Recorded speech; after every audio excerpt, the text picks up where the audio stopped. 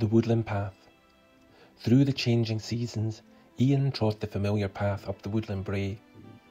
In spring, delicate snowdrops ushered him forward, their pale heads nodding in greeting.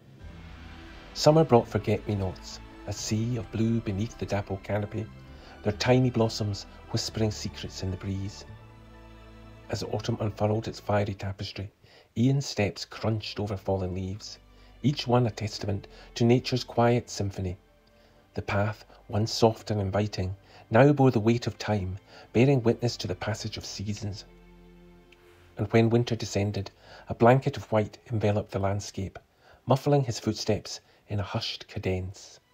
The chill in the air only served to sharpen his senses, heightening the beauty of the frosted world around him. Day after day, through snowdrops, forget-me-nots, and fallen leaves, Ian made his pilgrimage to Kilspindie village. Each step a testament to his resilience, a dance with the rhythm of nature, a communion with the ever-turning wheel of time.